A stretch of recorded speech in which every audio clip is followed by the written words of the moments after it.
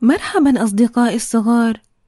قصة اليوم بعنوان فرحة العيد فهيا بنا نكتشفها معا. الله أكبر الله أكبر. لا إله إلا الله. الله أكبر كبيرا. هكذا أخذ أطفال القرية يرددون خلف الإمام تكبيرات العيد وقلوبهم فرحة سعيدة مبتهجة وقد لبسوا ثيابا جديدة ملونة حلوة. فاليوم عيد والكل سعيد. مرحبا أعزائي الصغار. هل عرفتم عن ماذا سنتحدث اليوم؟ أجل أجل.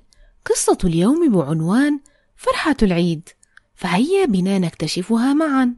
خرج أطفال القرية السعيدة إلى ساحة الألعاب يرتدون ملابسا جديدة وأحذية لامعة ويمسكون بأيديهم نفاخات مختلفة الأشكال والألوان. أطلق الأطفال نفاخاتهم فتطايرت راقصة.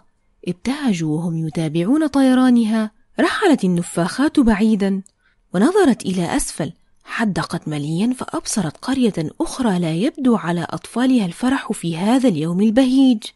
نزلت النفاخات بين أيدي هؤلاء الأطفال فكان سرورهم بها عظيما.